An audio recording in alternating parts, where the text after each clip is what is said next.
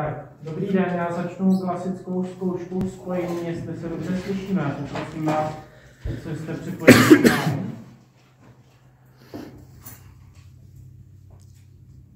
Slyšíme, Helena Zorna Křížová, deník. Dobrý den, děkuji za zkoušku.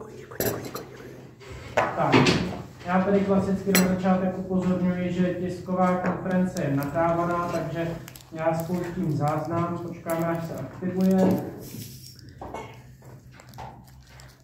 Tak, záznam běží, takže ještě jednou dobrý den, rád bych vás přivítal na dnešní tiskové konferenci města. Dnes eh, v novém složení začnu panem starostou Martinem Mrkosem, Dobrý den. eh, paní místostarostkou Ludmilou Řezničkovou Dobrý den. a novým panem místostarostou Rostislavem Dvořákem. Dobrý den. A samozřejmě v neposlední řadě s panem s vedoucím eh, městské policie Martinem Kuncem. Dobrý den. Eh, Začneme tedy rovnou bodem číslo jedna, to je právě představení nového místo starosty, takže já předávám panu Dvořákovi slovo. Děkuji. Takže ještě jednou dobrý den. Pravděpodobně eh, budete ode mě chtít slyšet eh, něco z mé profesní kariéry, tak ta se odvíjela v středenské firmě Žďas.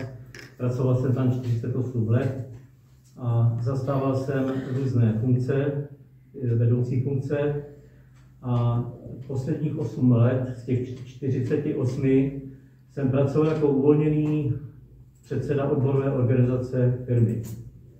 A měl jsem na starosti lékařní středisko Hubří, který bylo naším vlastnictvím. Z politické kariéry eh, jsem současným místopředsedou městské organizace KDU ČSL ve nad Sázavou a v komunální politice se pohybuji čtvrté volební období. Byl jsem v pozicích uvolněného zastupitele buď jako radní města nebo zastupitel města. Jsem ženatý a je mi 64 let. Děkuji, jestli stačí takto. Já se zeptám, jestli na pana místo starostu i k jeho jmenování máte nějaké dotazy. Eh, Já bych se ptal, Mirek Mareš, občasník EU, pane místo starosto, Mladá fronta dnes přišla v informaci, že snad budete lídrem KDU ČSL do komunálních voleb. To už je rozhodnuto, to můžete potvrdit tuto informaci? Ne, v tuto chvíli ještě nemohu potvrdit. Eh, Je to eh, možná částečná spekulace Mladé fronty, ale eh, skutečně, protože se mě na to opravdu ptali, ale já jsem říkal, že vše se ukáže až v tom dalším roce, že volby jsou příští rok, je na to času dost, takže uvidíme. A budete mít teda ambice ucházet se o pozici lídra KDU ČSL ve Žďáře? Celé eh, čtyři volební období jsem měl tu ambici. Mhm. A e, ještě jedna, jedno věc nebo jedno téma, e, situace kolem tepla a firmy, firmy Žďav, tam je to o tom, jak vy tu situaci vnímáte celkově a co je potřeba udělat do budoucna. No tak eh, vnímám ji celkově v tuto chvíli eh, ne moc pozitivně, spíš negativně. Eh, Je samozřejmě problémem asi emisní povolenka, obecně řečeno, která je nástrojem Evropské unie a eh, to, že žďas eh, vyrábí teplo z uhlí, spalováním uhlí, tak to je asi tím největším problémem v tuhle chvíli. A ten tlak, který je všeobecný, dokonce bych řekl celosvětový, eh, tak s tím se musíme nějakým způsobem vyrovnat. No, to znamená, my jednáme se Žďasem v tuto chvíli o tom, jestli vůbec budeme spolupracovat eh, na nějaké platformě dál při dodávkách tepla a odebírání eh, vyráběného tepla ze Žďasu, a nebo jestli půjdeme vlastní cestou, myslím cestou eh, měst- města a 100% společnosti SAP. A kolik je času jakoby na to finální rozhodnutí, jako kdy, kdy to rozhodnutí padne? Do Velikonoc, v létě, příští rok? Finální rozhodnutí padne někdy v červenci příštího roku. Mhm. Do poloviny příštího roku jsme řekli, že musíme mít definitivně rozhodnuto. Mhm. A za rok jsou komunální volby. Co byste chtěl za ten rok na radnici stihnout? Co je vaším, řekněme, hlavním úkolem, výzvou, nebo eh, na co se zaměříte jako ve, ve Věnovat funkci? se maximálně všem těm agendám, které v podstatě jsem eh, dostal eh, za úkol řešit od své kolegyně doktorky Romany Bělohlávkové a samozřejmě eh, být dobrou oporou eh, tady koaličním partnerům. A co teď bude nejdůležitější ve vaší práci? Přišel jste na radnici, čili ten nejdůležitější úkol, co teď musíte udělat, vyřešit? Tak jak pro každého uvolněného politika. To znamená, eh, nejdůležitějším úkolem je co nejdříve se seznámit s těmi agendami, které budu zpravovat. A to už teďka běží, to znamená každodenní schůzky podle kalendáře, který mám. Eh, chci si projít všechna, eh, všechna naše zařízení, které máme, ať už jsou to mateřské školy, polikliniku, sociální služby. A jsou to celkem agendy obsáhlé a věřím tomu, že se mi to podaří. Já tedy děkuji panu místo starostovi za tento bod a teď již eh, přejdeme k bodu číslo dvě. Netradičně kvůli časovým důvodům zprávy městské policie a tedy poprosím pana Kunce. Takže pěkný den za mě ještě jednou. Eh, dnešní tiskovou konferenci zaměřím na prezentaci řešení případů od minulé tiskové konference. Bohužel v převážné většině závažnějších případů, eh, které jsme za uvedené období řešili, sehrál opět podstatnou úlohu alkohol, respektive jeho eh, negativní vliv na sociální chování osob.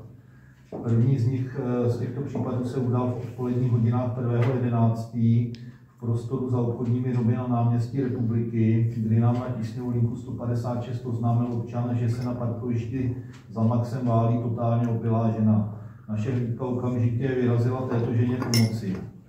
Nalezli jsme, tu ženu jsme nalezli ležet přímo, přímo v komunikaci a po krátké době se nám s ní podařilo navázat ústní komunikaci. Vzhledem k jejímu stavu opravdu velmi silné opilosti jsme přivolali zdravotní záchrannou službu. Eh, při tom vyšetření lékařem a následném vyšetření, když jsme prováděli orientační dekovou zkoušku, tak jsme zjistili, že tato cca 60-letá eh, občanka tady ze Ždáru nad Sázavou disponuje velmi značným eh, obsahem nebo objemem alkoholu v krvi, respektive v dechu, protože jsme ji naměřili 3,81 promile. Eh, bylo by zajímavé zjistit, eh, co všechno tato žena musela vypít, aby se, aby se, eh, aby se tak na tento rekord, který, který je za další dobu dostala. Doufám, že to zjistíme, protože až s ní budeme řešit její přestupky, kterých se tam dopustila, tak nám to třeba poví pouze v případě, že samozřejmě si to bude pamatovat. Takže další případ, ten se stal kolem půlnoci 2.11. opět na náměstí republiky v jednom z restauračních zařízení. Eh, tentokrát jsme na místo byli přivoláni obsluhujícím personálem, protože jeden z hostů eh, se choval velmi nevhodně až agresivně a přes výzvu personálu odmítal provozovnu opustit.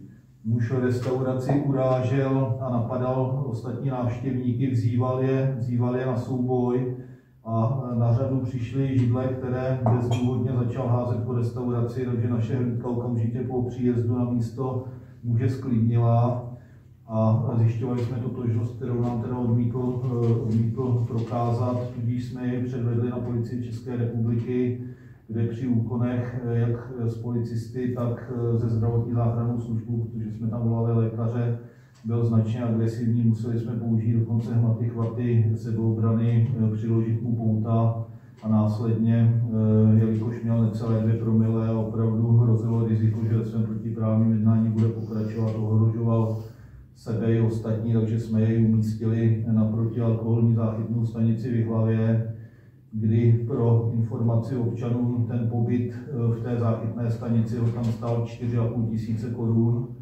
Následně eh, po tom vyspání eh, se dostavil zpět do Žďáru, kde jsme si, kde jsme si jej vyhledali a jeho hrdinský činy ocenili další finanční sankcí ve výši 2000 korun.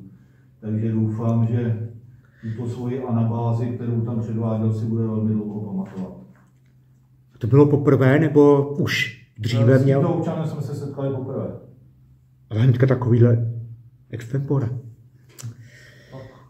Někdo to pojal to, za, to, co tam, za to, co tam předváděl, tak 2000, jako to je relativně, nebo dostat to, že se. Jo. Takhle hodný jste na něj byli. No, to jsme byli hodní, no. Tak a třetí případ, eh, ten je opět eh, vlastně, eh, má společného jmenovatele, to je alkohol.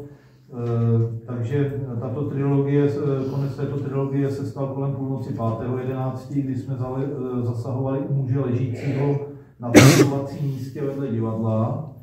Muž, který se vracel z oslavy, která probíhala v nedalekém kulturním zařízení, bohužel nedošel daleko, i když mířil k bydlišti. E, při následné komunikaci s Lítkou uvedl, že byl značně společensky unaven a při náročné cestě do místa bydliště tam usnul. Takže měl štěstí v tom, že se nám podařilo kontaktovat jeho manželku v místě bydliště, takže druhá hlídka si pro manželku přijela.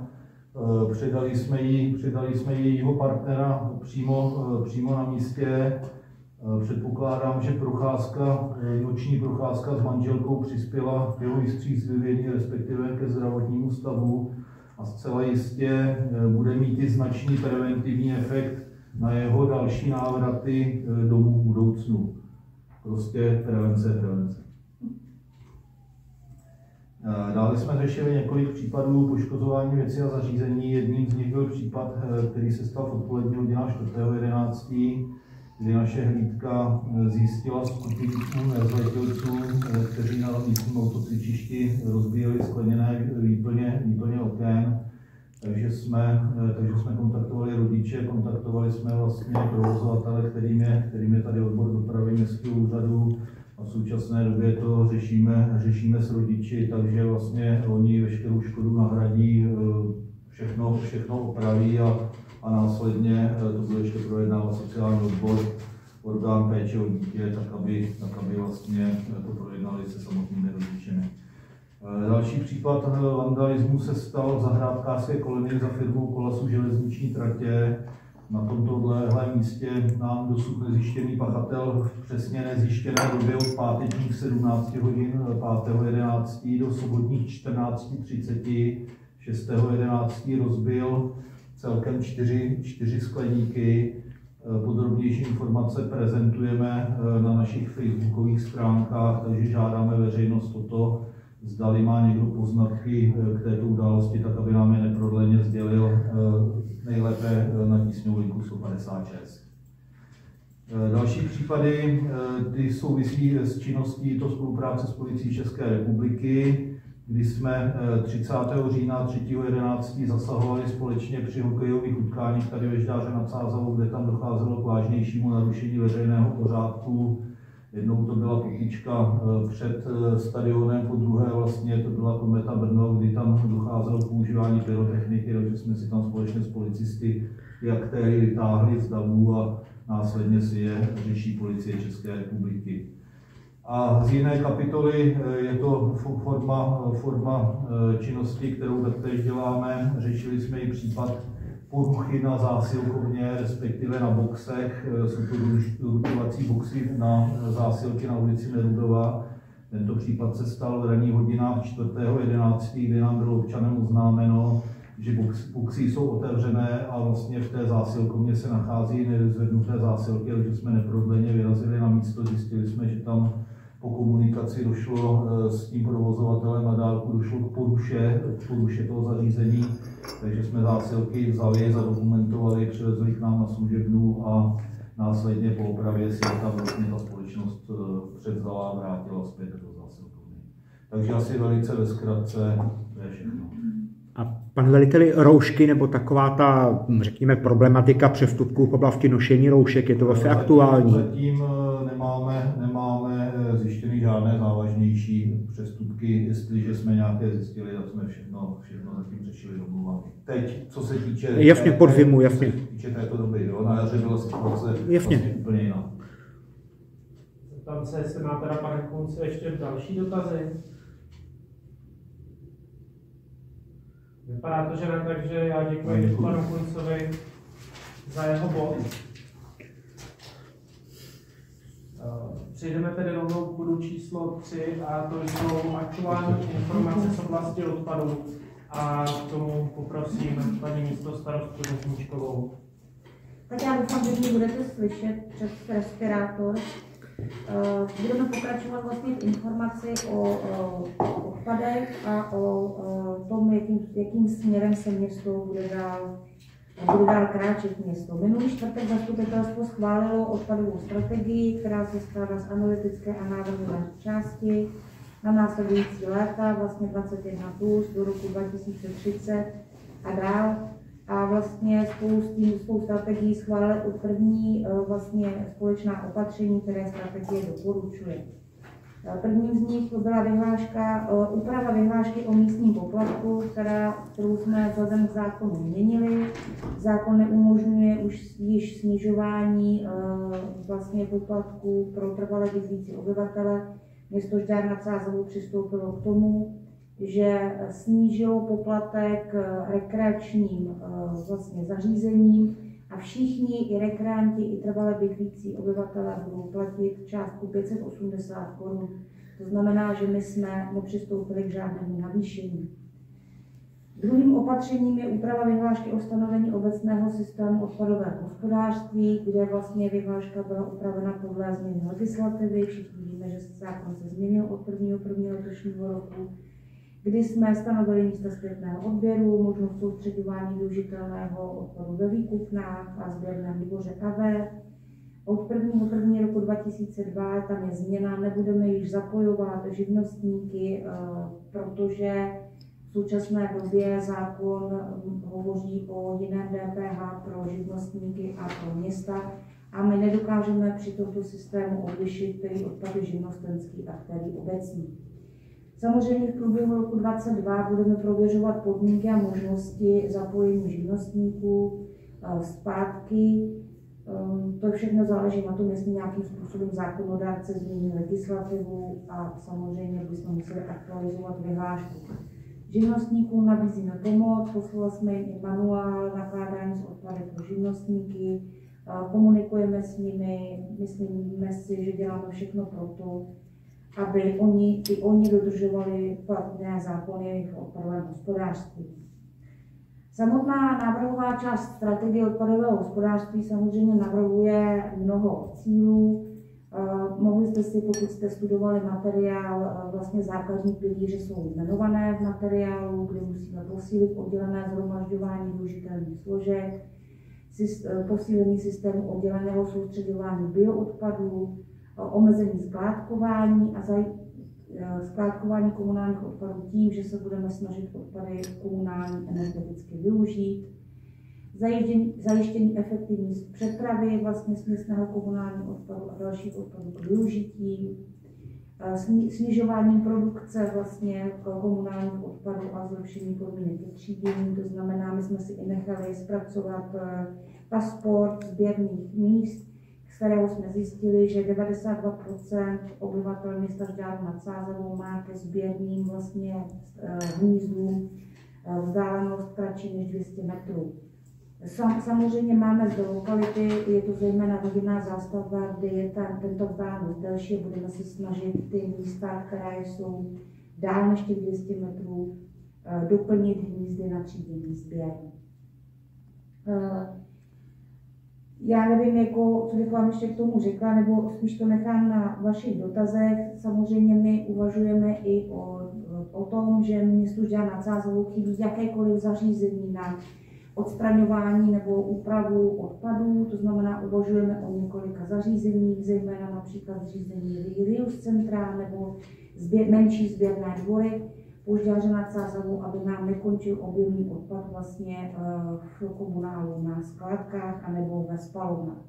Zároveň probíhá výběrové řízení na eh, nové, nové koncové zařízení, to znamená na skládku energetické využití. To je v běhu a zatím k vám tomu nemůžu nic říct. Samozřejmě, až dokončíme toto výběrové řízení, budeme vás zase informovat.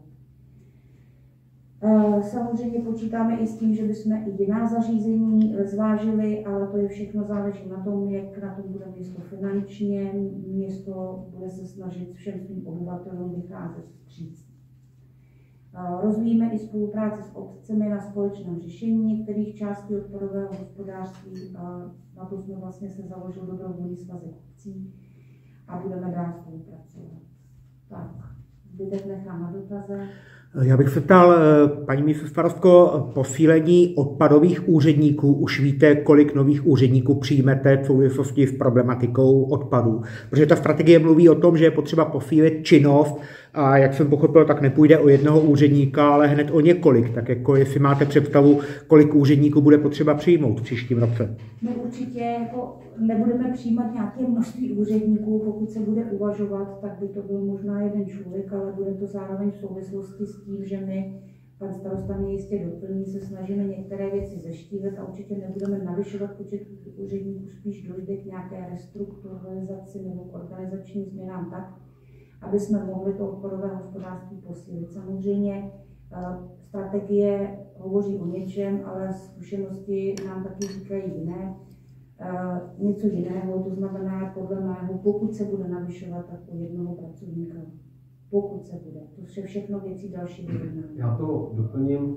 Eh, je to předmětem nějaké podrobnější analýzy, nelze takhle, sice ten dokument o něčem hovoří, ale je potřeba vždycky ty věci zasazovat do širšího kontextu a reálí. Eh, osobně s kolegy jsem velkým zastáncem toho, aby se ty činnosti, které v rámci úřadu jsou vykonávány ne zcela efektivně, tak aby se ty procesy zeštíhlily a aby se zautomatizovaly. Co to znamená? Prostě svět se mění, někde ta agenda skutečně přibývá a vyžaduje personální eh, posílení a více personálních kapacit. Někde zase je příležitost eh, ten čas ušetřit a být efektivnější. Takže eh, Máme pracovní skupinu, vycházíme z anglického slova lean, to znamená zeštíhlování, kdy jednotlivé procesy, které v rámci úřadu probíhají, vlastně dekomponujeme eh, na jednotlivé dílčí izolované kroky a snažíme se v těch procesech hledat právě ty příležitosti pro eh, časové úspory. Ku příkladu takto jsme identifikovali proces, tady interní proces schvalování cestovních příkazů a té agendy kolem, kdy ze 13 kroků jsme dokázali seřezat tu agendu na čtyři nějaké kroky.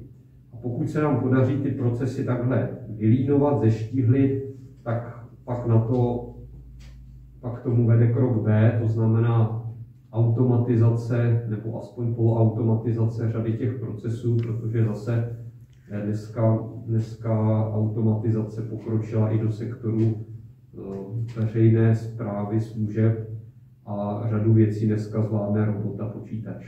Takže eh, pokud se někde bude eh, v rámci té přibývající agendy kapacitně posilovat, tak ano, ale chci, aby zase se někde udal, tak aby se pořád, eh, abychom, abychom pořád drželi eh, ty výdaje a počet, počet pracovních míst na rozumném úrovni. Hmm. Jiná města eh, v kraji Vysočina hlásí zvýšení, zvýšení cen, cen za odpady, protože se musí promítnout růst nákladů, nákladů energií a tak podobně. Jak to děláte u vás, u vás, že zůstáváte na stejné úrovni, když jiná města zdražují? Město Žďár nad Sázovou má dlouhodobě nižší náklady na odpadové hospodářství, zejména protože tady máme eh, společnost bývalou vlastně pan odvárka Odas, který koupila firma AVE, máme dobré vztahy, máme eh, nastavené ty systémy, jinak dokážeme ušetřit na jiných věcech a vlastně v současné době, pokud zůstaneme na poplatku nebo vlastně i snížíme ten poplatek rekreantům na 580 korun, tak eh, eh, naše ztráta v podporovém hospodářství je predikovaná asi na 3,5 milionu, což je běžná ztráta u měst. My jsme měli vlastně daleko nižší ztrátu. Takže jsme se rozhodli, že eh, lidem ponecháme tento poplatek, nebudeme zvyšovat, ale za to od nich budeme chtít samozřejmě, aby spolupracovali na tom, aby jsme se vyhnuli postihům, které by nás čekaly, pokud nebudeme plnit ty věci, které jsou v novém zákoně o odpadech. Jako ten zákon o odpadech je o tom, že v roce 2030, když bychom měli vytřídit z komunálu 65 současného stavu, skládkovací poplatek se bude zvyšovat z 500 až na konečných 1850 v roce 2029.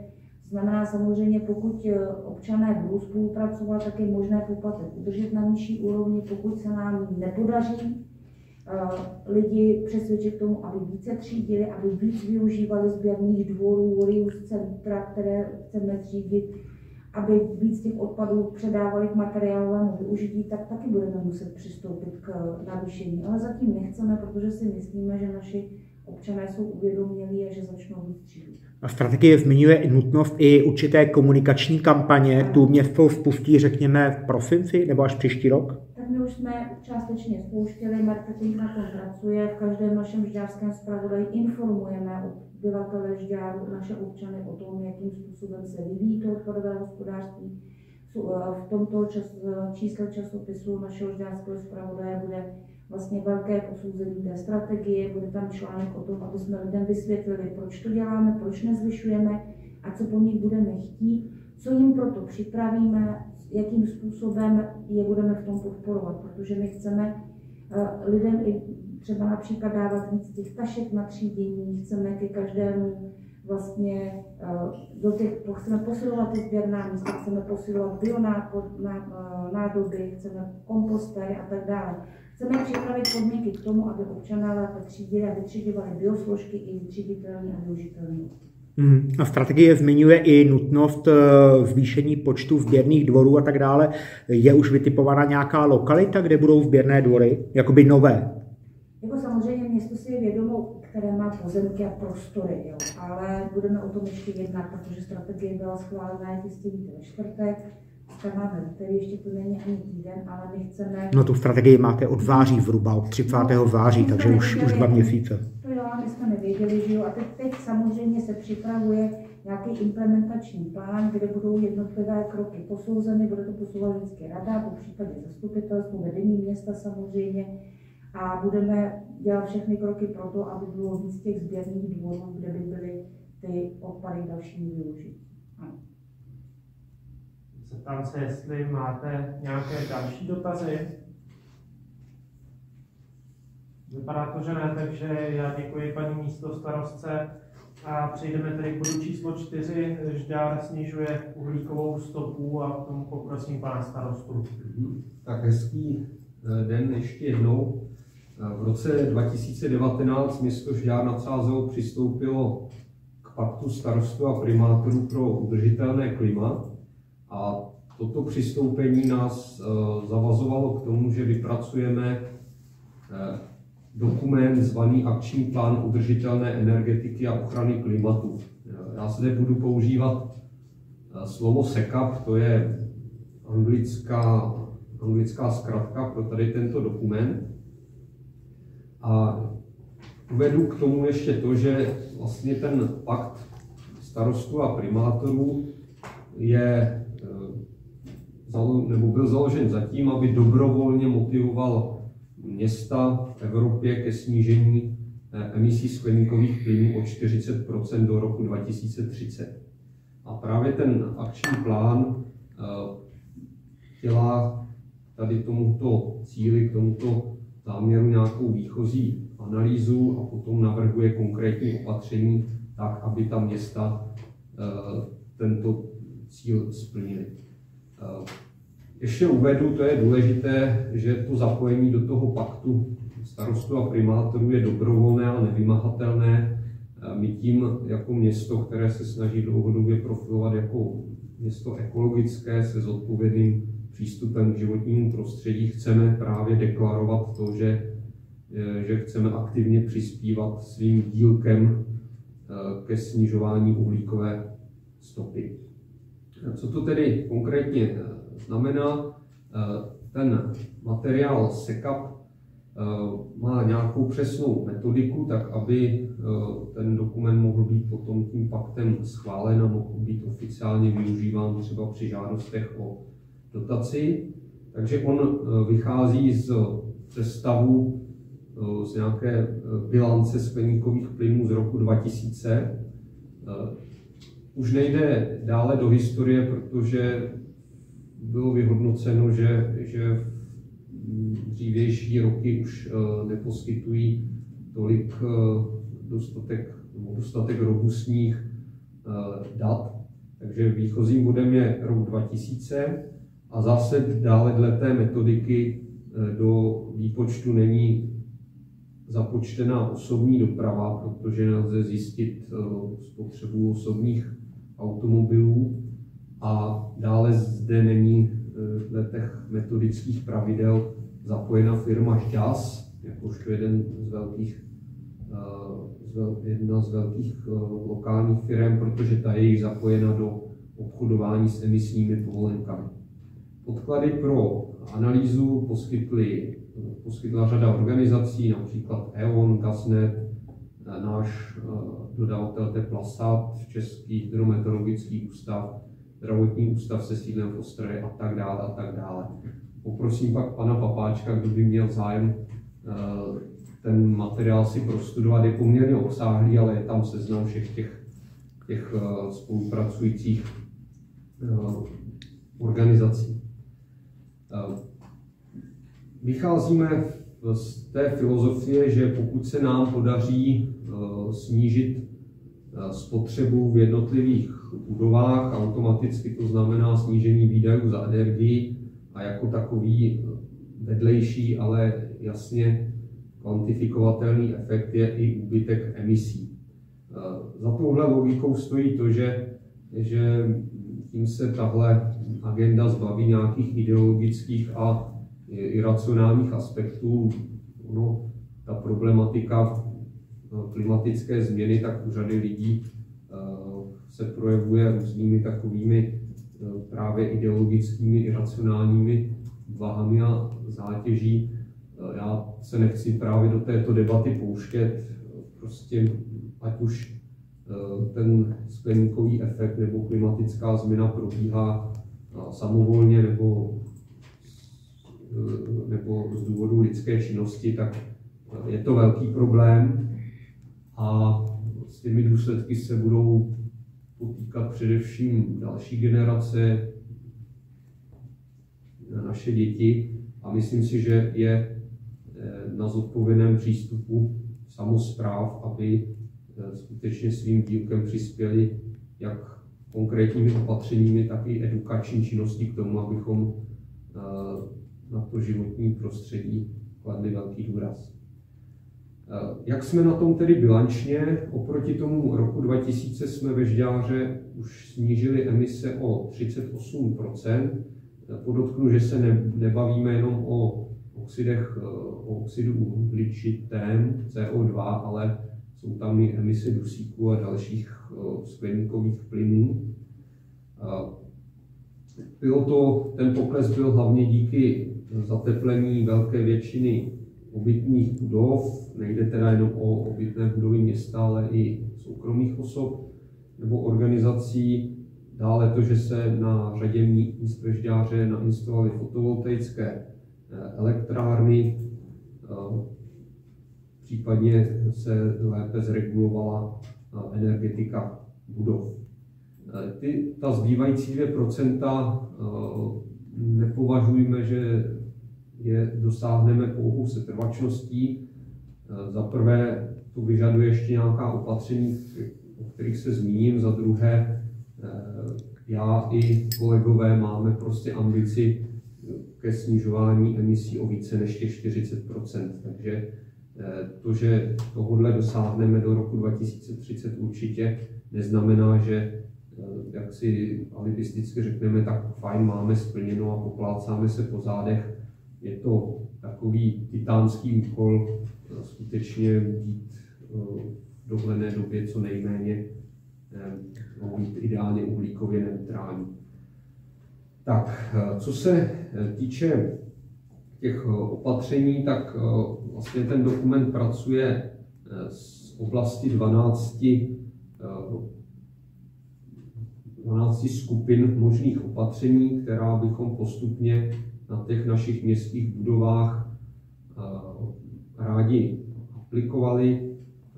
Budeme samozřejmě tuto problematiku i, i komunikovat směrem k veřejnosti a firmám, takže věříme, že se zase i v souvislosti s nárůstem cen energií k tomu přidají ten, ten vnější exogenní uh, faktor nebo motivátor je zde teďka v podobě těch rostoucích cen energií, takže věřím, že se skutečně podaří snížit emise mnohem více, jako těch 40% Jak jsem řekl, naše budovy jsou zateplené, takže kde ty příležitosti spočívají, spočívají ve vyregulování otopných soustav, výměny či renovací vnitřního osvětlení, obrovské rozdíly úspory dělají LED, LED, LED světla.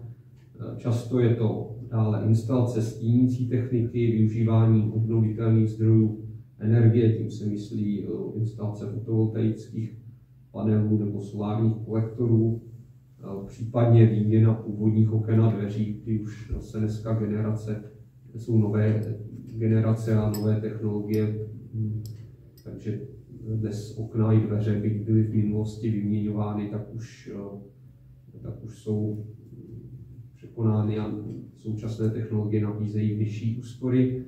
Dále je to hospodaření s vodou, ať už jde o využívání dešťové a šedé vody. Minule jsme se bavili o té třeba bazénové technologii, která šetří až 70% vody různé instalace různých úsporných armatur a podobně.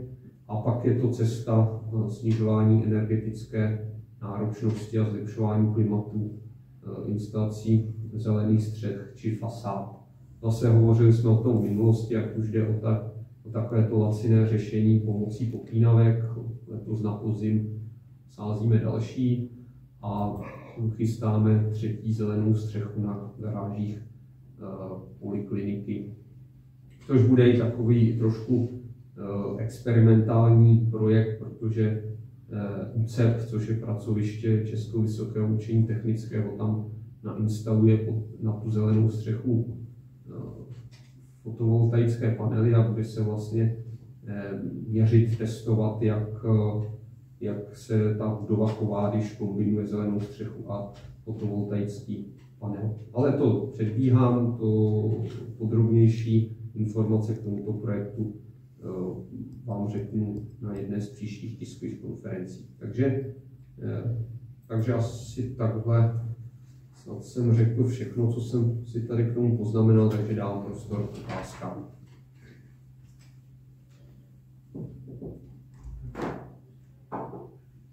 Vypadá to, Vypadá to, že k tomuto, ano, paní Stejskalová. Dobrý den. Dobrý den. Jaký, jaké nejbližší kroky chystáte právě, jak si říkal, teď tu zelenou střechu, ale třeba u těch budov, co by mohlo přijít nejdřív na řadu? Eh, u některých škol je naplánována v příštím roce investice do té eh, stínící techniky. Z hospodaření s vodou, to jsem zmiňoval, ten bazén, to proběhne v nadcházejících týdnech má, dopracováváme projekt fotovoltaické elektrárny na budovu městskou úřadu, kde právě ta spotřeba je poměrně eh, velká a, a další tak regulace to mm, dále vyregulování otopných soustav v těch, těch budovách, to si myslím, že je takové provozní opatření. A to by asi z těch nejbližších mohlo být vše. Některá ta opatření, jo, ještě tam máme nezateplené svobodáky, myslím 3 a 4, takže to je projekt, který se chystá také na příští rok. Eh, ještě bych dodal to, že samozřejmě řada těch opatření je spojena s nemalou investicí eh, a právě to, že máme ten akční plán udržitelné energetiky a ochrany klimatu, tak je to taková v úvozovkách vstupenka pro to žádat do i specializovaných dotačních programů norských fondů, EU eh, City Calc nebo Horizon 2020, případně získávat eh, podporu z Evropské investiční banky. Takže on ten dokument má jednak tady tenhle deklaratorní charakter, hlásíme se k tomu, že chceme snižovat uhlíkovou stopu, ale je tam i ta pragmatická rovina, kdy Žďár nad Sázou může získat skutečně specializované dotace, na které bez tohoto dokumentu nemáte šanci uh, uh, dosáhnout. Nějaké další dotazy? No, jestli si ještě můžu zeptat, pokud budete mít fotovoltaickou elektrárnu na střeše městského úřadu, vyrábět nevím, elektriku, nebo bude ohřívat vodu, nebo k čemu bude ta Eh. vyrobená energie? Bude, nebude se jednat o solární kolektory, ale o fotovoltaické panely, čili výroba elektriky.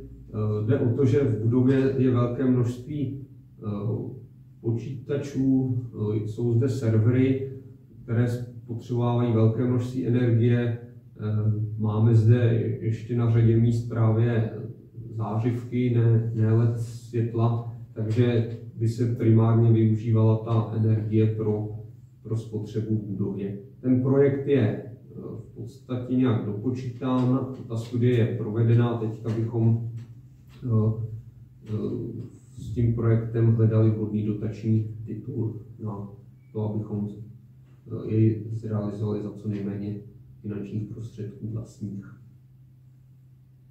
Dalo by se říct, kolik asi bude stát ta elektrárna? Dalo by se to říct a poprosím Matěje, aby to zjistil kolegy Bačovského, protože teď se mě pletou v hlavě dva, dvě čísla a nerad bych vás uvedl v omyl. Takže tu informaci dostanete. Děkuju. Mhm, prosím. Já tady děkuji za dotazy a odpovědi v tomto bodě. A přejdeme k bodu číslo 5 a to je úspěch eh, naší mateřské školy Vysočánek eh, v soutěži nejlepší kuchař, kuchařka roku a k tomu poprosím pana místo starostu Dvořáka. Děkuji. Takže já s radostí vás chci seznámit s informací, eh, možná to někdo i eh, sledoval, takže jenom připomenu, že 27. října letošního roku proběhl čtvrtý ročník soutěže Nejlepší kuchař, které, eh, ta- tato soutěž je vyhlašovaná vždycky asociací kuchařů a cukrářů České republiky. V loňském roce jsme byli přihlášeni taky, ale tam jsme neuspěli. A v letošním roce zásluhou paní magistry Koukolové a paní Bencové z mateřské školy Vysočánek eh, došlo opravdu k velkému úspěchu, protože se dostali nejen do výběru deseti nejlepších, ale z toho výběru deseti nejlepších umístění eh, obsadili čtvrté místo v kategorii zdravé stravy eh, svačinky pro děti. Eh, Takže eh, já bych jenom připomenul, že si velice cením a proto říkám s radostí, že seznamuji toho, že se jedná nejen o to, že se naše kuchařky v mateřských školách věnují eh, zdravé výživě a přemýšlí o ní, ale hlavně proto, že chtějí eh, nějakým způsobem kvalifikačně růst v této profesi a moc si toho vážím. Děkuji. Nějaké dotazy k tomuto bodu? Pan místo starosto, S čím konkrétní zabud? Svačinky pro děti, to, to znamená zdravá výživa. Eh, Já vím, ale konkrétní recept, jestli víte. No, recepty nemám, ale můžu vám je slíbit se. Já vám je, já je mám, já vám je zaslat můžu. Pošleme je, máme je. Já jsem si dívala, že nějaká pomazánka nebo něco. Ano, ano, ano, jsou to svačinky. řepy ne- Jo? Jo, my vám je Pan. Papáček pošle recept na pomazánku. Já už, já vám tu, já už tu mám tady mm, pomazánku z červené řepy a černé čočky, arašidový humus, nepečený cheesecake do skleničky. Každopádně přímo ty recepty mám, takže já vám je, já vám je zašlu. Poskytneme vám. A, a, a, Eh, Děkuji, já jsem nepotřebovala ty recepty, ale spíš jako s čím to bylo, jak mi teď Ano, ano. Já myslím, že byste ty recepty měli zkoušet. Arašidový humus je výborný. Já už doma vařím tři dny. No. tak, ještě pan Marek. můžou se paní kuchařky těšit na nějakou speciální odměnu od vřizovatele za to, že jsou takhle dobrý? Určitě, minimálně nas- navštívím osobně, tak dostanou nějakou pěknou ružičku. Ale eh, určitě, určitě poděkuji a A kdyby byla fotka třeba ve Ždárský v Pravodaji, skvělých kuchařek, aby si je prohlídlo celé město, mohl bych, mohl bych, já si myslím, že určitě se objeví v našem zpravodaji a určitě tam bude poděkování a už dneska mohu prozradit, že se hodlivě připravují a zodpovědně na příští rok a na příští ročník. vzhůru kvišíme tam. Ano. Tak, eh, já tedy děkuji za dotazy a za odpovědi v tomto bodě. A já se zeptám, jestli...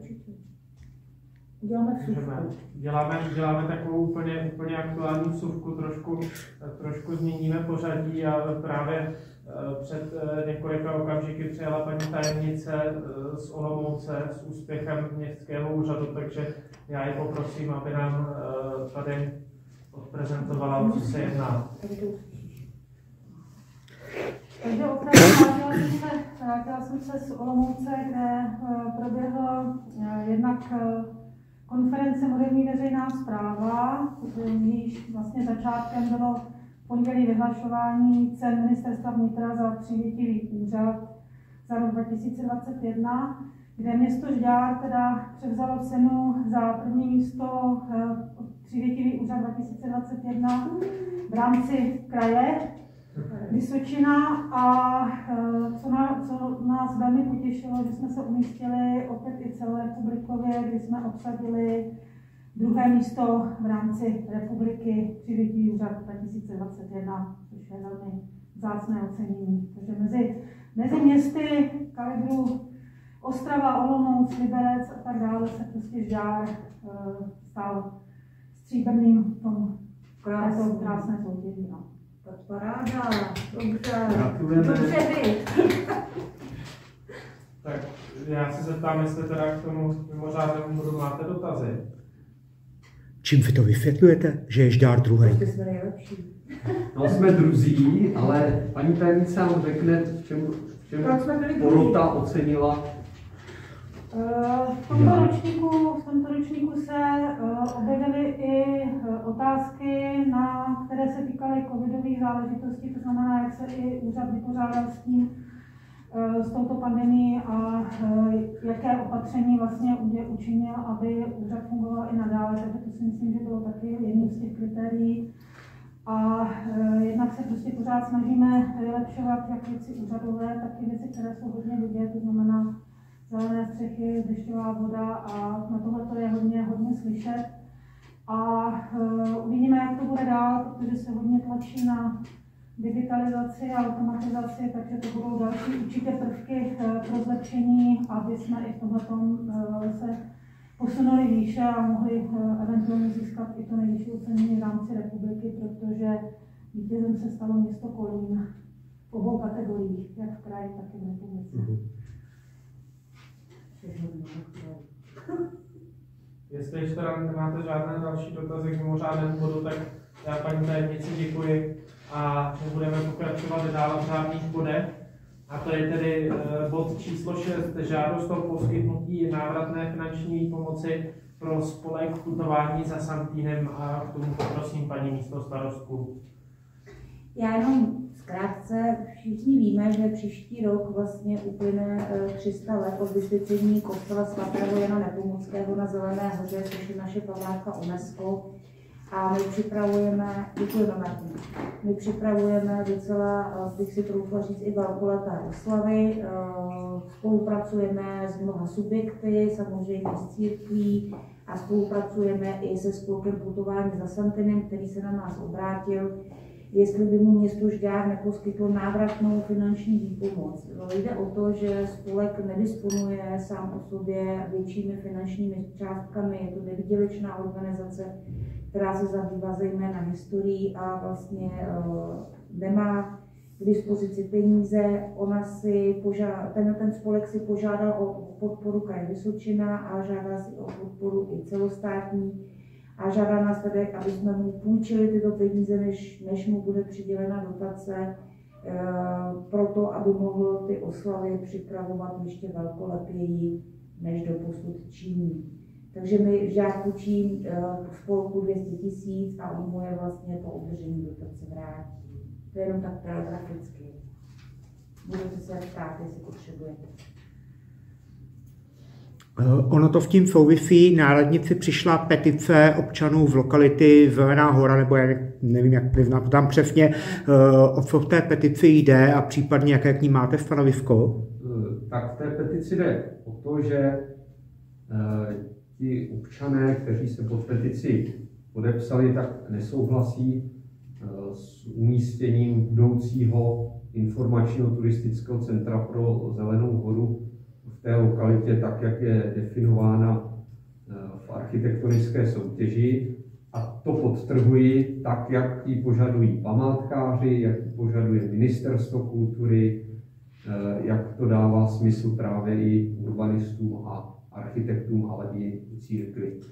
Eh, ta petice z mého pohledu, nebo asi z našeho pohledu, budu hovořit i za kolegy, tak trošku předběhla dobu v tom, že ono zatím není proti čemu bojovat. Eh, od toho je architektonická soutěž, kde eh, věřím, že architektonické špičky právě vytvoří nějaký, nějakou představu konkrétní, jak by měla vypadat a kde by měla být umístěna ta vlastní stavba ale i tak eh, a, a k tomu navíc ty tolik důležité souvislosti, které se týkají eh, dopravy, parkování, eh, logistiky a tak dále. Památka UNESCO, která patří do elitního seznamu památek na světě, tak nemá své zázemí. Je to nedůstojné, když tam přijede autobus seniorů a nemají možnost jít kam na zákon nebo jdou, jdou až eh, do obřadní sídně eh, na Hbitově, případně eh, musí na zámek a tak dále. Turisté, kteří chtějí získat nějakou informaci, tak vlastně je tam paní Kastelánka, která má velice takovou skromnou, ani ne místnost, spíš prostor pod schody. Není to 21. století. Jo? A Eh, myslím si, že si to nezaslouží ani ta památka, ani, ani turisté, eh, ani občané Žďáru, kteří se tou zelenou horou eh, jsou na ní hrdí, ale, ale prostě ta památka nemá zázemí tak, jak by měla mít. No a lidem v místě se to pochopitelně, nebo pochopitelně, prostě se to nelíbí, ale skutečně si myslím, že, že bojují teďka proti něčemu, co ještě neexistuje. A my jsme na setkání s nimi slíbili to, že jakmile budou možné, jakmile, jakmile bude možné eh, ukázat, odprezentovat eh, návrhy architektů, tak je samozřejmě do té diskuze vtáhneme. No.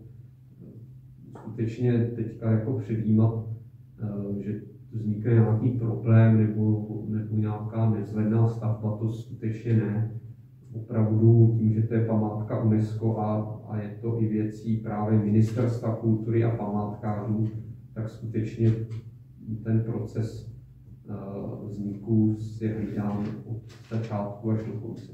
A navíc je to stavba církve, několik města. Já jenom doplním pana starostu v tom, že uh, opravdu v současné době běží architektonická soutěž a všechny ty návrhy budou samozřejmě místním obyvatelům, které mají znalosti místních poměrů, předloženy, byly diskutováno s nimi. Jako my myslíme si, že je zbytečné v současné době psát petice.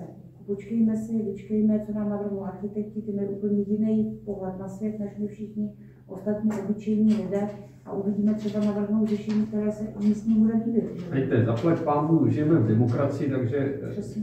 na to občané mají právo, akorát tento okamžik není ještě o čem jako úplně debatovat. A ti občané teda v té petici žádají co? Aby to tam nebylo vůbec, nebo aby to bylo menší, nebo čeho se vlastně domáhají? Co chtějí poradnici? Oni, oni jednak nechtějí vůbec a za druhé rozporují i podmínku, kterou dal památkový ústav, s tím, že ta stavba může být umístěna někde v tom kopci Zelené hory, avšak do nadmořské výšky 600 metrů, tak aby eh, tou, tou stavbou budovy nebo toho zázemí eh, nebyly dotčeny nějaké pohledové osy a dominanta toho kostela. No, takže e, řada těch variant nebo takových těch samozvaných názorů, dejte to tam či jinam, tak to prostě je nemožné, protože, říká Ministerstvo kultury a Národní památkový ústav, jasně vymezili, kde taková stavba stát může a kde stát nemůže. A harmonogram nejbližších událostí, to znamená běží architektonická soutěž, kdy budeme vidět nějaké návrhy, obrázky, co nám architekti navrhují, nebo jak, jaký budou teďka další události? Své události bude takový, že eh, do teď nevím přesně zvali to datum, ale eh, před Vánocemi by se měly zhromáždit návrhy architektů, myslím, že tam je 18. prosince, je to možný. Čili ještě letos, takhle Ještě řekněme. letos, ještě letos dorazí eh, návrhy architektů, v lednu k ním zasedne komise, myslím si, že v únoru už bude o čem hovořit s veřejností. Jasně, a bude možný ty návrhy vidět ještě před hodnocením té komise, to znamená ještě před Vánocemi, nebo až poté, co zasedne komise, to znamená až v lednu? Až Kdy, poté, co zasedne komise, v podstatě, eh, abyste měli vhled do toho procesu, je to anonymní proces, otevřou se vlastně eh, ty, ty návrhy, přijdou sem, sem eh, nějaké vel, větší, nebo velkoplošnější formáty těch návrhů, ty jsou anonymizované, takže vůbec nevíte, kdo se přihlásil a až ta komise, eh, jak složená z odborné části, tak z zástupců třeba církve, města a podobně, eh, vyhodnotí, určí nějaké pořadí, tak teprve se otevírá obálka, kde se zjistí, že například návrh číslo 5 dělal pan architekt XY. Jasně, a do té doby nemá smysl teda projednávat tuhle tu petici, protože vlastně nevíte, eh, nevíme, co, co bude předloženo. My ze zákona máme povinnost odpovědět, to tak učiníme a jak jsme slíbili na tom veřejném projednání, znovu zopakujeme, že máme zájem, jsme otevření dialogu s občany, ale musíme se bavit nad konkrétním potenciálním výstupem a ne nad tím, že tam někdo něco nechce a má z něčeho strach a pocit. Jasně, a perspektivně drž, jde řešit jinak dopravu v té dané lokalitě, protože co jsem tam projížděl, tak jako vyloženě příjev k památce světového významu je po, řekněme, místních silnicích, kde se těžko vyhnu pro, pro, protijedoucímu autobusu. To znamená, to tak? ta doprava je taková, řekněme, neodpovídající významu Ano, toho místa. Ano, to máte naprostou pravdu, ta lokalita je z dopravního hlediska velice komplikovaná a to je právě součást eh, zadání, součást požadavku na architekty, aby přišli s tím komplexním řešením. Jo, skutečně ta soutěž není o tom, jestli ten domeček bude eh, kvádr koule a jak bude velký, ale právě jde o ty všechny další souvislosti dopravní a urbanistické v té lokalitě, tak aby to dávalo funkci a smysl. Konec konců máme i generál dopravy, který, což odbočuji, ale vlastně ono to tak jako nabízí částečně to řešení, kde ve Žďáře řada těch ulic, kde je komplikovaná obousměrná doprava, tak pokud se zjednosměrní doprava se sklidní, zlegalizuje se parkování a tak dále. Tak to je třeba jeden No ale v, tom, v té lokalitě není mo- moc možností, jak řešit dopravu, protože tam je z jedné strany rybník, z druhé strany kopec a v třetí strany, v třetí strany rodinné, rodinné domky s úzkými uličkami, takže zbývá čtvrtá strana, tam teoreticky ano. No a čtvrtá strana, náražíte-li na tu eh, silnici z Vysokého, tak to je soukromá. Ano, ano. A, a proto tam je i zákaz jezdu. Takže uvidíme, co, co přinesou ty návrhy. Jo? To není o tom, že to vymyslí jeden architekt, ale předpokládá se právě zapojení týmu architektů, dopravních urbanistů, krajinářů. Eh, Proto ta, ta soutěž eh, není, eh, nebo proto ta soutěž má, má předpoklad skutečně přitáhnout velké týmy a velká jména, protože to je výzva. Jasně, a co může být dál? Čili v lednu začne hodnocení, v době Velikonoc budeme mít, řekněme, nějakého vítěze a co bude dál? A pak už je to na církvi, zda si zajistí finance na, ten, na tu stavbu a, a aby si mm, a i ten inženýring už bude na, na církvi. Vlastně město v té, v té věci figuruje tak, že eh, z velké části platí a organizuje architektonickou soutěž.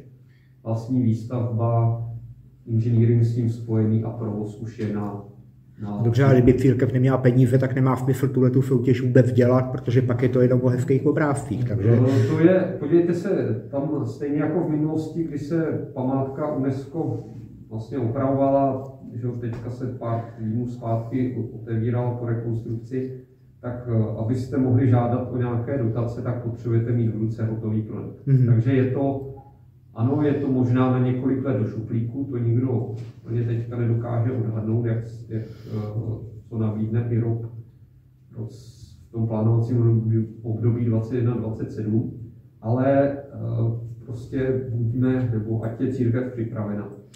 Tak na základě Zimmermanovy myšlenky významných datumů 300 let od narození Fantýnyho se přímo nabízí k tomu, aby se stalo něco významného. Třeba se tam něco, takové, něco takového postavit. Věřím, že dojde k naplnění vaší vizionářské tak je potřeba církvi napovědět, že má významný datum a vyloženě od toho to odvíjet. Ale ještě když jsme mluvili teda o těch oslavách eh, toho výročí Fantýnyho, co nás... Mluvím, já jen doplním, aby jsme se aby jsme to dokončili, to datum odevzdání je 20. prosince. 20. Jasně. A příští rok, které máme 300 let od eh, Fantýnyho, už jsou známy nějaké, nějaké významné datumy nebo oslavy, co si člověk má poznamenat do kalendáře, na co se těšit? No určitě my máme už nějaký nástřel a dostanete ho včas. Do konce roku si myslím, že se zveřejní nějaký, nějaké, teď, teď ještě vám o tom nebudu úplně říkat, domlouváme různý program, kdy se bude i putovat nejenom po památkách tady ve Žďáře nad Sázavou, naše velká památka UNESCO, ale Santiny stavil i kostely v jiných vesnicích okolo nebo městech, městyse. Takže samozřejmě my uh, Spolupracujeme, jak už jsem řekla, s několika subjekty a určitě se to dozvíte včas. Já jenom obecně si mohu dopovím, eh, není to o tom, že jako v týdnu kolem toho výročí 300 let eh, bude týden, týden nějakých koncertů a slavností, ale ta myšlenka je vlastně celým tím rokem 22 provést a připomínat tu myšlenku Santiniho baroka a kostelu. Hmm. Jenom úplně odbočím, ve Žďáře je i Fantýneho ulice, teď nevím. Ano. Jo. Je Fantýneho ulice, vzadu vlastně pokračuje Bezručovou. Jo, jo, jo. Tam jo. je už Fantýneho. Tak ještě paní Stejskalová se hlásí.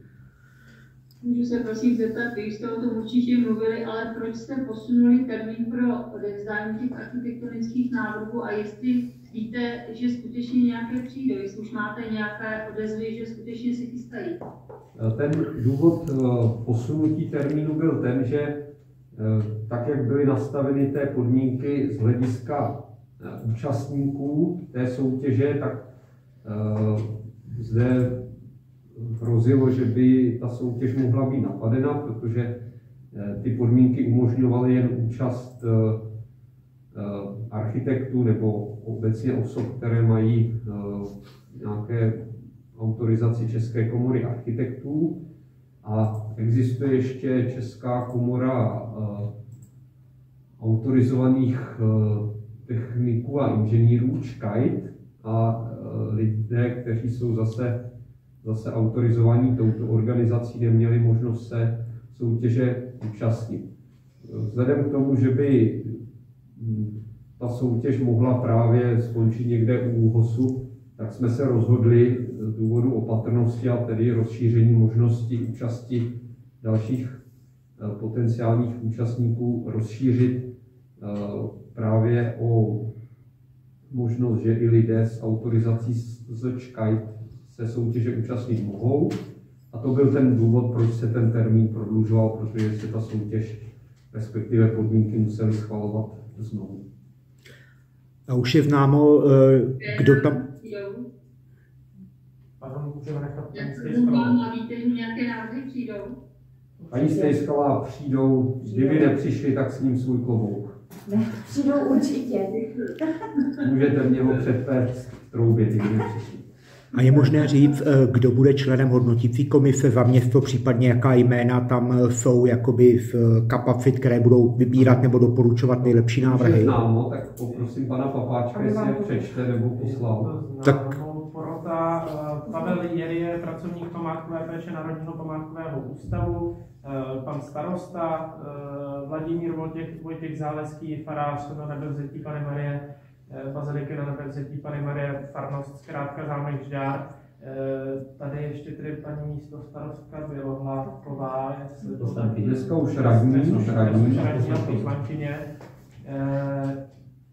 Architektka Iveta Merunková, architekt Karel Spáčil, inženýr Vít Sladký, Petr Matík, agentura ochrany a přírody České republiky, ještě doplní pan Sladký, Fakulta stavební a architektury ČVUT, radní města Zdeněk Navrátil, paní místo starostka Ludmila Řezníčková, inženýr Aleš Taufar, biskupství brněnské a Adam Joura, vedoucí odboru strategického rozvoje a investic Žďár. Ještě není tam, prosím vás, ten pan profesor z Liberce, pan Pránek?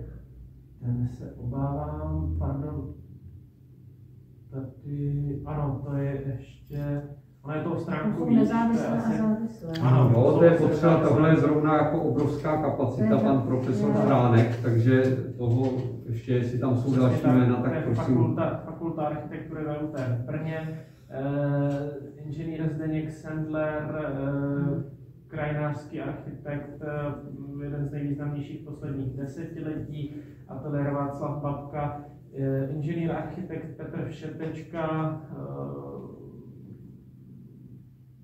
ateliér Transat architekti, autor spolupracuje s Robertem Václavíkem, docent inženýr architekt Ivan Bahla, zakladatel architektonické kanceláře Rosín a Bahla. Jinak dodám ještě, eh, ta část poroty je takzvaně závislá a část nezávislá, eh, čili část poroty tvoří ti nezávislí odborníci právě z té eh, odborné a akademické obce a pak jsou takoví, kteří si nás dovolím nazvat jako poučení lajkové z té samozprávy, kteří Eh, kteří jsou v té porotě také, ale samozřejmě eh, tu rozhodující váhu mají, mají odborníci. Tak. Ještě nějaké dotazy k Zelené hoře? Vypadá to, že ne, takže přejdeme k bodu číslo 7 a to je tedy eh, vyhlášení a změny v dotačních programech a k tomu poprosím pana starostu. Tak, jenom telegrafický eh, materiál. Každý rok touto dobou v souvislosti s přípravou rozpočtu se vyhlašují eh, dotační programy pro rok 2022. První je kultura, tam je alokace 900 tisíc, zůstává bez změny oproti minulému roku.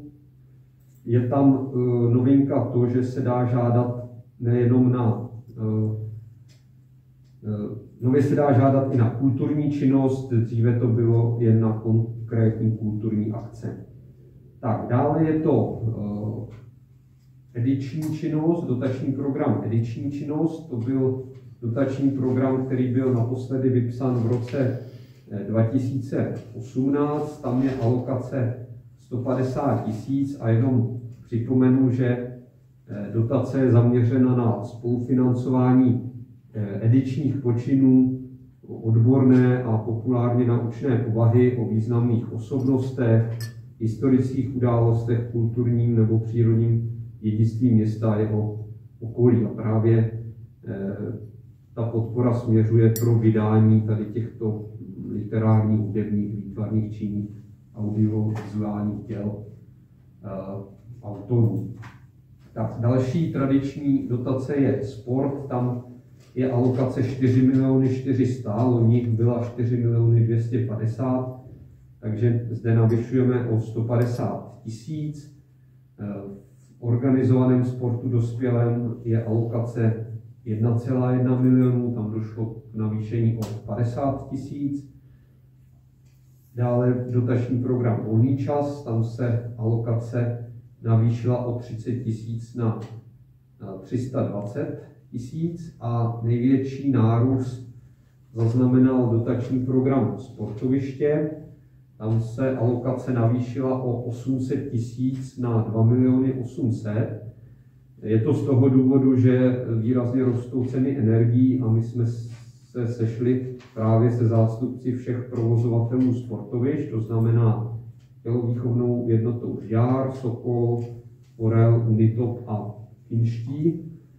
A zkusili jsme teda na, odhadnout, nasimulovat uh, ceny, respektive náklady těch sportovištích na příští rok a vyšli jsme právě z toho, že eh, aby byly ty potřeby nějak saturovány, tak je potřeba navýšit program 800 tisíc. Jenom připomenu, eh, tady tento program eh, sportoviště znamená, že dětské oddíly, mládežnické oddíly, které chodí sportovat do těchto zařízení, tak jsou jim ty hodiny ze 100% hrazeny městem, v případě eh, oddílu dospělých tak z 50%.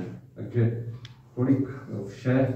To byla telegrafická zpráva, ještě budeme v prosinci na zastupitelstvu potom mít dotační program na podporu označování provozoven a, a, no, a grafického označování, což souvisí s tou dlouhodobě řešenou problematikou reklamního smogu, ale k tomu si zase řekneme nějakou rekapitulaci eh, příště, co se povedlo, co se nepovedlo a kam to bude směřovat.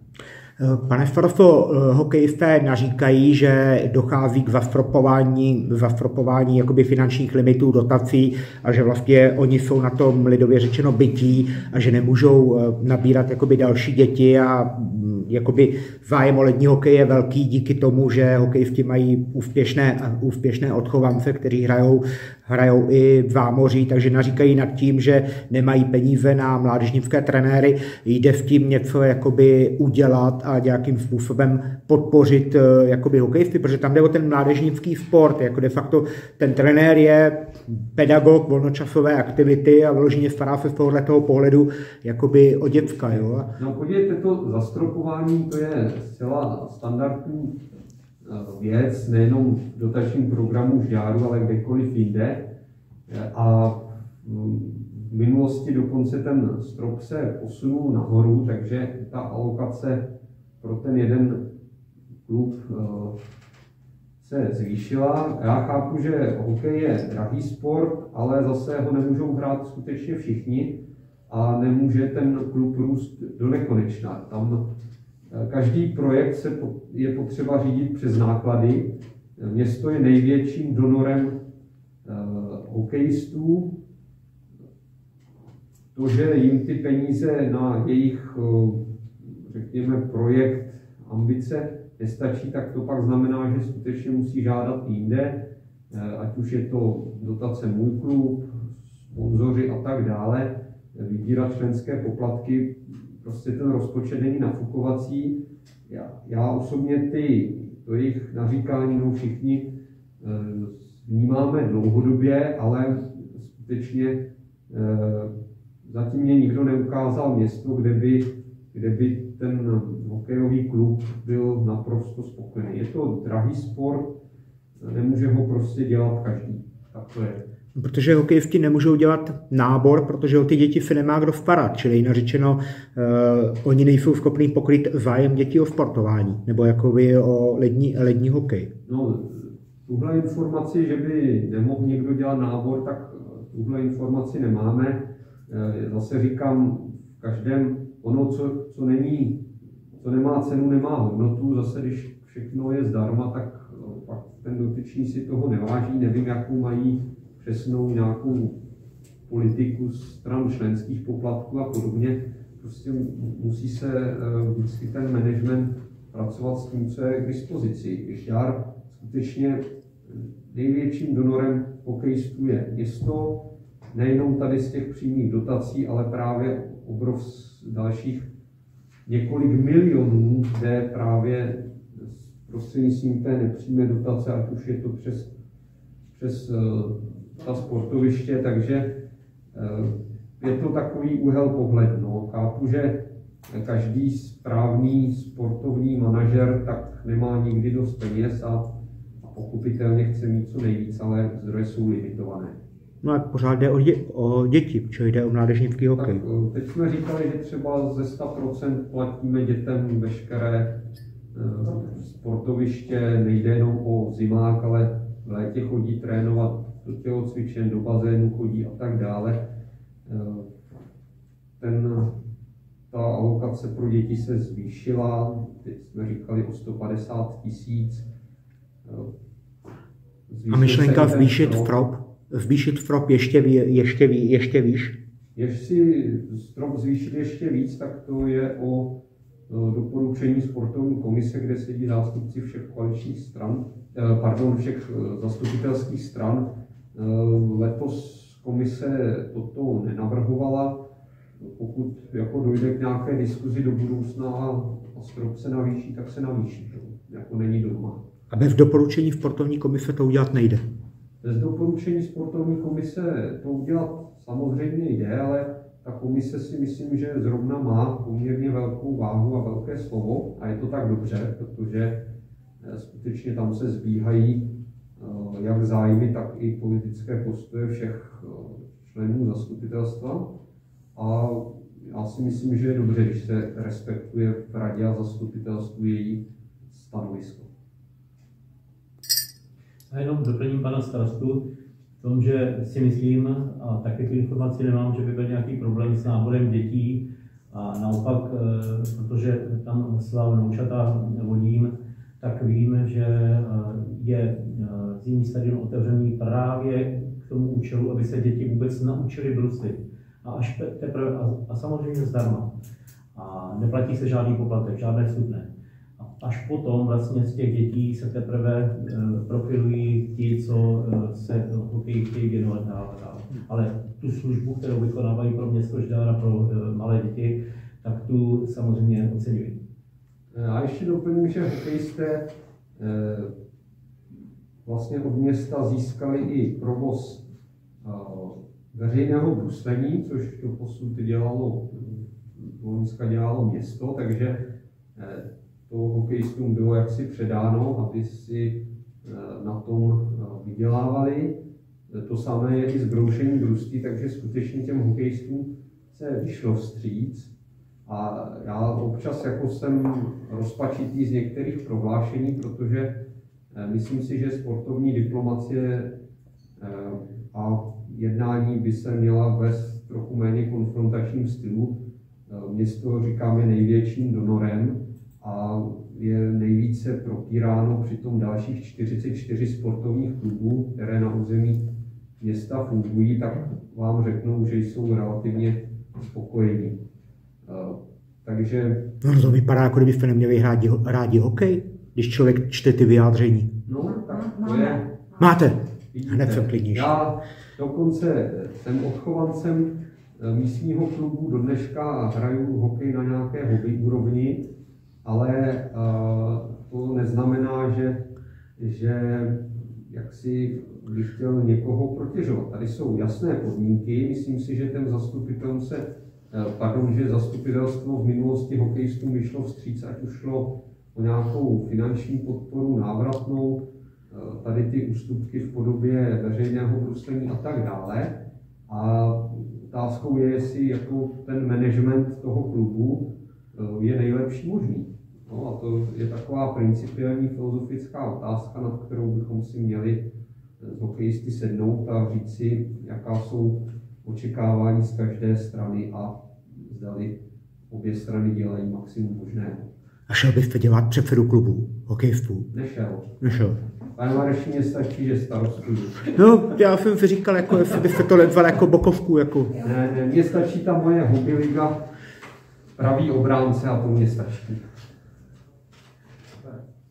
Eh, já se zeptám ještě, jestli nemá někdo další dotazy k tomuto bodu. Vypadá to, že dotazy nejsou, takže děkuji panu starostovi za bod a odpovědi. A tedy čtyři bodu číslo 8 a přesouváme se k vozovému parku města a to je tedy nákup vozové, nového vozidla knihovny Matěje Josefa Sichria. Tomu poprosím paní místo starostku.